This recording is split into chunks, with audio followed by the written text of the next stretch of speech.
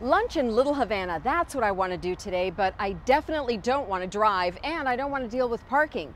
Good thing the Miami Trolley has a new route.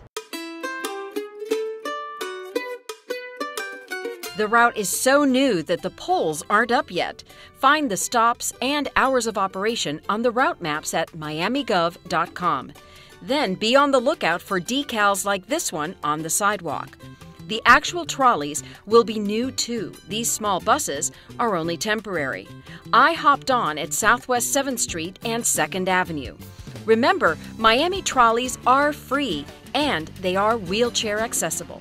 I lost my bus card this morning. I had to go to Walgreens at 12th and Flagler, and then I just found out a half an hour ago about this new bus.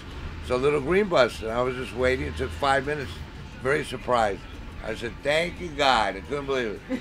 and uh, saved a bunch of money, you know. Que es una ayuda más para nosotros los oh, ancianos, que casi no podemos caminar y, y tenemos varias rutas nuevas. Muchas gracias.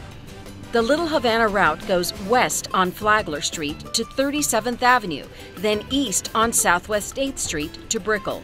It took 50 minutes to almost go around the entire route and get to my stop in the heart of Calle Ocho, where there are plenty of places to find Cuban food and more.